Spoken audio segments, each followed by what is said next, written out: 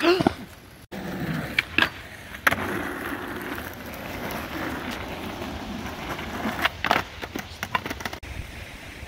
don't want it to push me to go a million miles an hour.